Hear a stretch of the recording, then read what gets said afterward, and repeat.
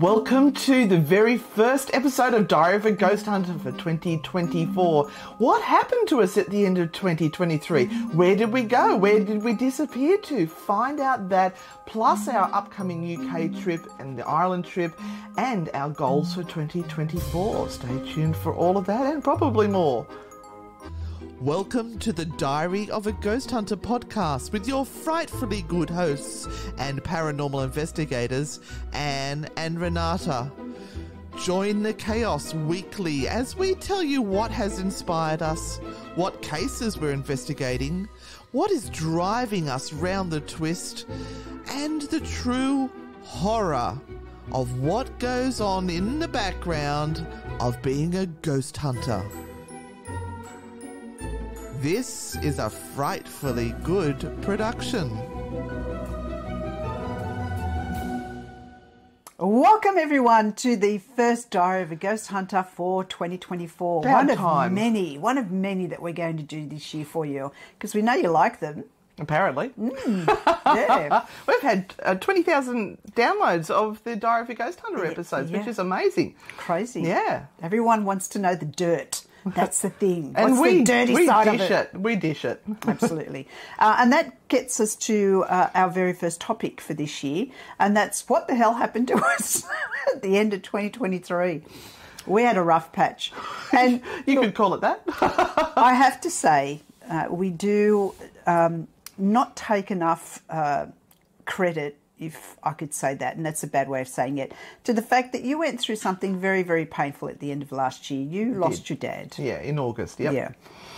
Um, and yeah, things things were a bit a bit nuts. We had so many things that kind of really went wrong, as well as some of the great things that happened in 2024. We had lots and lots of really horrible 2023 20, yeah, 2023. We had lots and lots of horrible things happen. I ended up keeping get going away with absolutely no money. That's my husband outside rattling things, so just ignore that. Yeah, with no money, my my bank accounts were closed to me. I couldn't get to my bank to Because she forgot to notify the bank that she was going yeah, overseas, make, make, they shut down access. Yeah, please don't do that. people. and um, because she was in a foreign country, she couldn't reactivate it. no, it was like I was a pauper. It was horrible. It's all right. We gave you a cracker every now and then. Yeah, you did. Threw me a biscuit. I had to give it bio coffees because otherwise our life would have been a misery. Um, look, we had great trips. Uh, But we're also quite sick. yes, we were sick for the first half of the year. Yeah, both um, of us really unwell. Uh, I ended up basically with walking pneumonia for July and August and refused to go to the doctors because I didn't want to end up being put out of the tour that we were on in um, Germany and Prague. And then, of course, people hated us because we were coughing and hacking, even though what I had they couldn't get. Yes. We were just run down. Yeah, yeah, yeah. We'd we'd. Um, I think we were beyond burnout. Yeah. we, we were burnt out. We kept going. snuffed out. we were ash. uh, but we kept going. Yes, we kept going. We kept going through a lot of internal difficulties as well. So not only were we dealing with the stuff that we were um, having to deal with in our own private lives, but um, we also had uh, a whole lot of dysregulation within um, our volunteer group, and we had really three huge changes that we went through as the year went on. Oh, not Um, to also to mention the fact that um, because of you urging me, I got diagnosed with ADHD, and then I had to start on that medication, which then mucked me around for a bit. And I decided to go on weight loss medication at the same time, which was horrendous. So I was just a miserable little sod. Yes. I was losing weight, but I was a miserable little sod. So I came off that and just um, just concentrated on one area, which is not weight loss. yeah, yeah, yeah. Um, and our team sort of really fractured um, towards the end of the year, and uh, we had a, a lot of things that were going on for a- whole lot of different reasons. But it was really unpleasant, and it was really um, soul destroying for us. Um, it was soul destroying for me. Uh, I know you, that you were trying to cope the best that you could with the smallest amount of energy that you had to give to that because you had all this other stuff going on for you. Um, and all all we could do at one point was literally just let it all play out and happen because we had nothing left to give and we had no solutions because this was a lot of personal stuff for other people as well. We kind of really saw um, a dark side to many people too.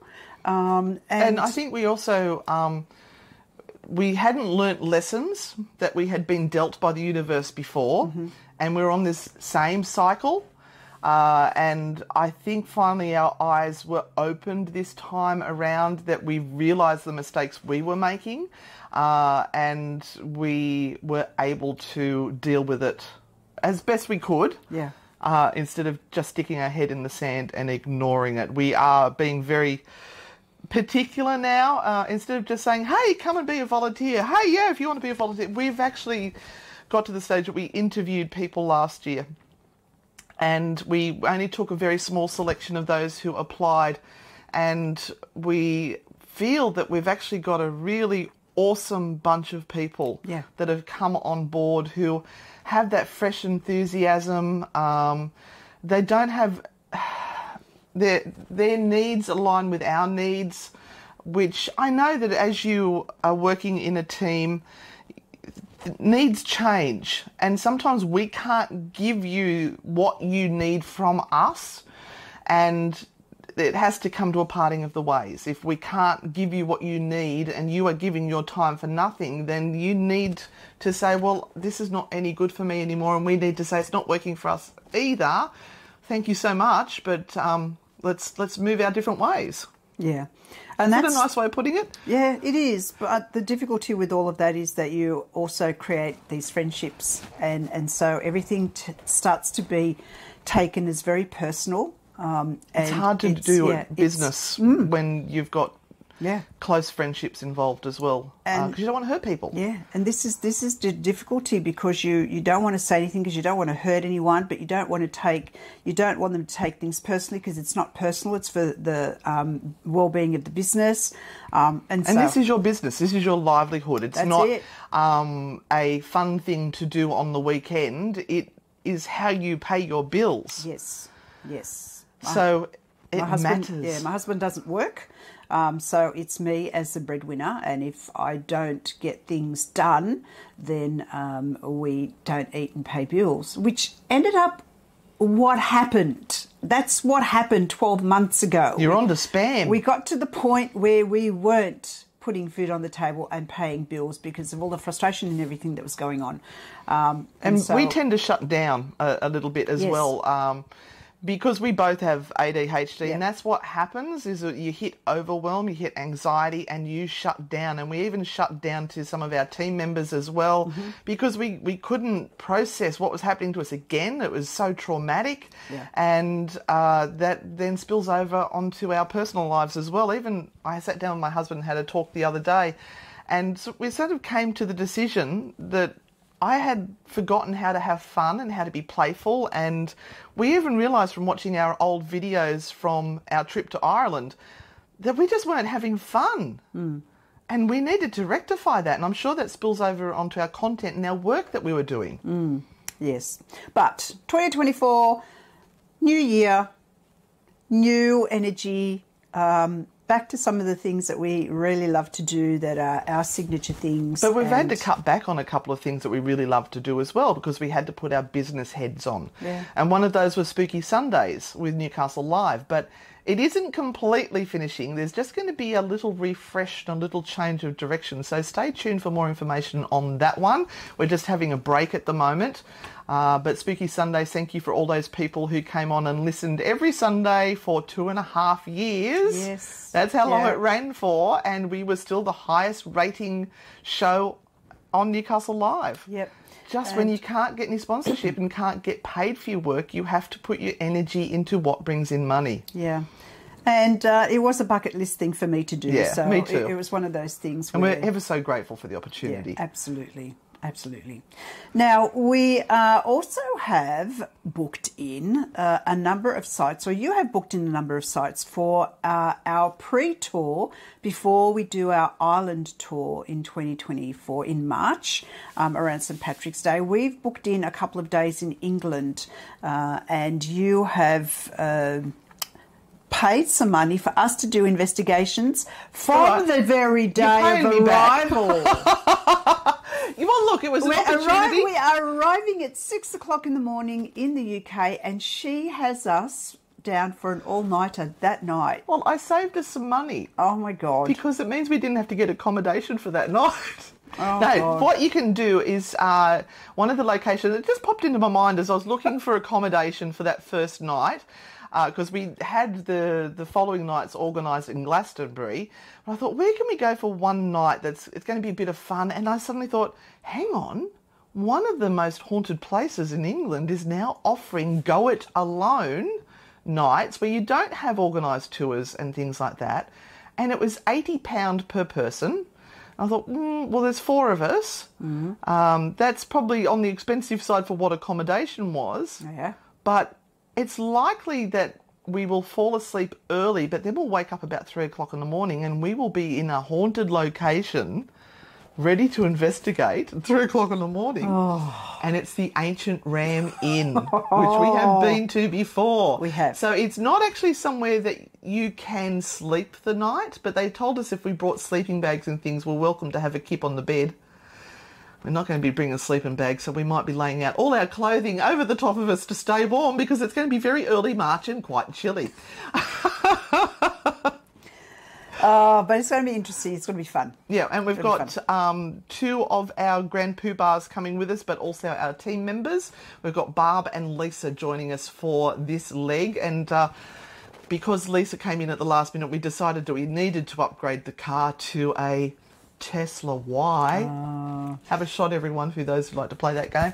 So yes, we will be in the nice big Tesla Y to um, enjoy our road trip for the UK for that first week. Now, make sure that you are subscribed to our YouTube channel, and if you can get get in and be a Patreon, you will go and get more content. I'll uh, put the by- links yes. on the YouTube video there, so you'll well, you're the- watching on YouTube, you'll know You'll where it get the saucy bits that probably aren't. Um, uh, may not make the cut for the general public because we're a little bit too too much.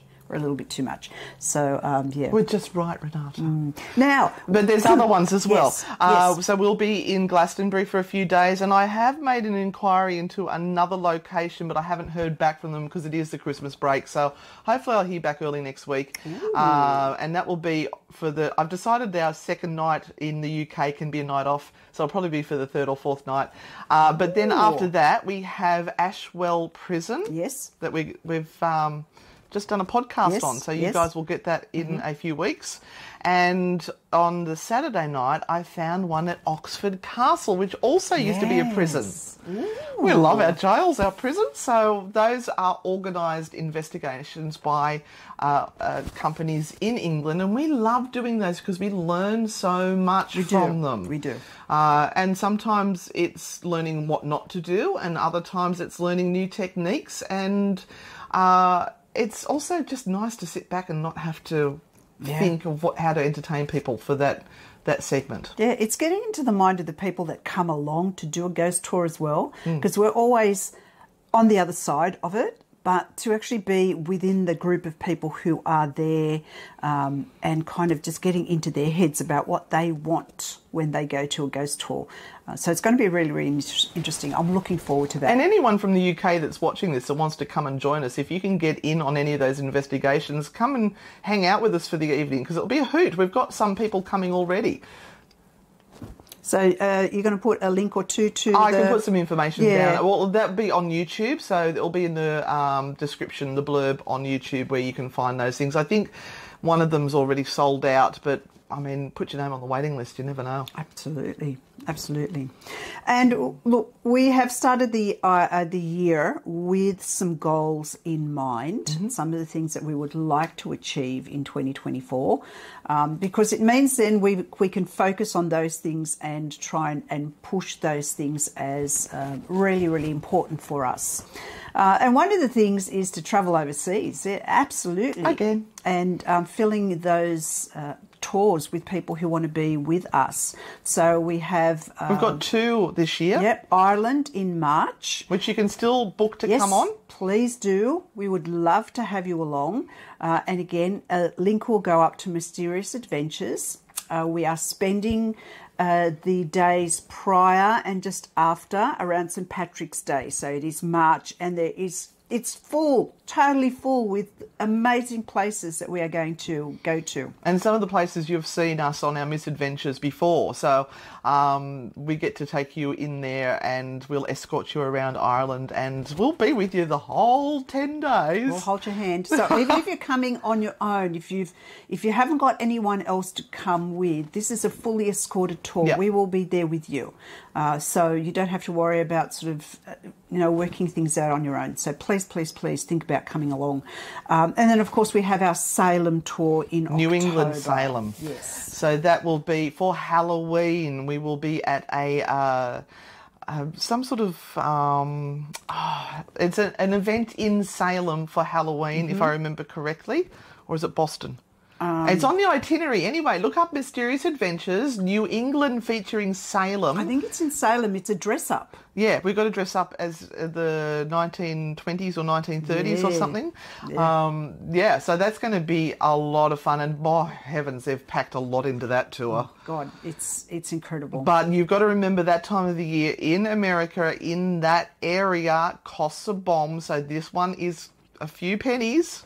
But for those who went on the New Orleans one, that most of them have come and booked for it already because they know how awesome it was. And they do have something where you can pay it off as well. Yeah, so absolutely. Yep. That's the great thing about Mysterious Adventures. You can pay off your adventure. Yeah. Which is great. So, what are our goals for 2024? Um, it's to try and get a million downloads of True Hauntings podcast. That's what we. That's kind of very top, if not top, of our goal. Our goals. Now we're over seven hundred thousand, so we've got three hundred thousand to try and hit this year. It's it's doable. It's doable.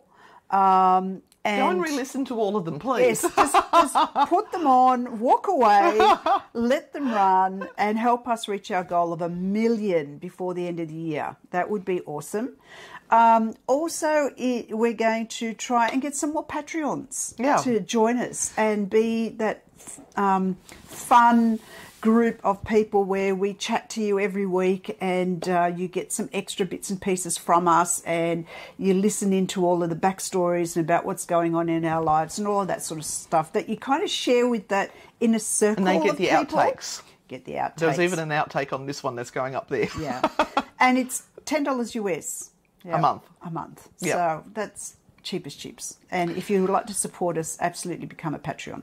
Yep. Uh, or you can buy us a cup of coffee. Just look up buy buy me a coffee, Anne and Renata, and you'll find that. And that's a way to do a um, a one off thing if that's what you'd prefer to do. But we'd appreciate any support, but also sharing us our, our work around to other people who you think might enjoy it would be awesome. Yeah. Uh, and now we are also going to be looking at doing some more collaborations during 2024. We've already got one lined up in Melbourne, which we're looking forward to.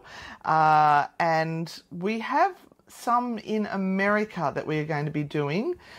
And one of our goals is to get cousin Steve to be able to come away with us. So we are putting our super stickers and those things on YouTube towards getting Steve to come away with us for two weeks. Now, he won't be on the New England Salem one, but we are going to be spending two weeks in America doing a collaboration with some locals over there. Uh, and we want Steve to come and direct us and be able to film it and put it up on YouTube because if you haven't watched The Bushranger in yet, go over and watch it. That was under Steve's direction. Part one is up, and part two is coming. And we are um, we're starting to get all our old stuff up as well, uh, but the style will be changing uh, under our new direction. But we need Steve with us because it's very hard for us to direct ourselves because we don't have the skills to do that. Yeah, we can be in front of the camera quite happily. We're not as good as Amy's Crypt. Sorry. Go and check out Amy's Crypt. They have nailed it. Those two have nailed how to do this shit. Yeah. Uh, we haven't. Um, And I was really excited. I edited something and put it up. And I was saying to everyone, "Oh, I've done it. I've edited something." And I, as I said, I'm doing it the hard way because I'm editing on Canva. And every person that saw it said it was shit. So thank you so much. I'm going to take that on board as a learning lesson. Um, that it's not that it was shit. There's just stuff I need to learn. Yeah. But uh, that was the witches of the domain. So check out that video and let me know if you think it was shit too. I can only uh, edit the footage that can- we've got. You can only improve, and I have to say, when I saw myself on there, I've gone, "Oh my god, just kill me now." It's you know. It doesn't matter what we look like. I I, mean, I've seen these gumps all over my face from COVID and masks Yeah. and things from the old footage, and I've gone, I'm, I'm all right. I'm going to rock my gumps. I, I'm going to be honest and proud about it. Now I look at it, all I can see is the gumps on my face. You know when somebody's got a hair hanging down there, and that's all you can do is look at their hair and think I need to fix it. All I Yeah. can see is the gumps. Yeah. So Yeah. thanks to the CPAP mask and the masks of COVID. yeah. So, yeah. But we're being who we are. We just have to be our honest, true selves with a little bit of makeup to look, cover up. Yeah, we can't wait for things to be perfect for us. We have to do this stuff now. Perfection we're, we're is not, boring. But we're not in our twenties anymore. This is this is the last hurrah. You keep And I- saying that. I There's say that entrepreneurs year. in their 80s. I know, and I want that to be me. Yes. Um, but yeah, I'd like a little bit more success by before that. that Anyway, happens. my goal is to improve our YouTube channel and Yep. to get it over the 10,000 uh, subscribers, and it is increasing. It is going up. But YouTube has been doing something really weird where they have been unsubscribing people. Now, uh, I noticed the other day we had like about five to eight people who had supposedly unsubscribed from our channel. Could have because it was such a shit video that I put up. I don't know. Maybe they don't like our Temu videos, but the Temu is bringing in an income for us, mm-hmm. which helps us make more videos. Yep. But uh, some of the big YouTubers have said that for some unknown reason, YouTube is unsubscribing random people. So please go and check that you are subscribed to Anne and Renata, frightfully good ghost grannies, and uh, we would appreciate that subscription. Plus, click the bell so you get notified when we're live. Plus, it's really, really important that you interact with the videos. Oh, Even yes. if you leave a message, comments. hearts, emojis, whatever it might be, because that might be another uh, reason YouTube is taking people off because they're not interacting anymore. Hmm. Uh, and so they're making people work harder for uh, the people that come on and subscribe, which is, you know, again, it's a business strategy. It's Well, a they've got to business make money strategy. too. That's correct. So if you are a subscriber, take a moment to watch the video and give us uh, some sort of a feedback on it. Even if you do say, that's shit." shit. we'll probably go, yeah, it really was. Because we're still trying to improve as well. Yeah. And give you what, what interests you. Yep. All right. Well, I think that brings us to the end. Yep, that's it for today. Yeah, so in uh, Diary of a Ghost Hunter, we are also going to start interviewing some other ghost hunters, so you don't have to listen to us rattle on every every week. We'll we'll see how we go. It might be every fortnight, uh, alternately to True Haunting. So at least there's something coming out every week for you. Yep. Uh, thank you for being here. Please share it around. Please, if you are listening on the podcast, please share it with other people. If you are watching on YouTube, could you write a comment down below and give it a thumbs up? Send a heart, thumbs up, whatever it And might be. if you be. feel inclined, send us a super sticker Yeah. as well. Absolutely. anyway, thank you all. We will see you next time on Diary of a Ghost Hunter. Bye. Bye.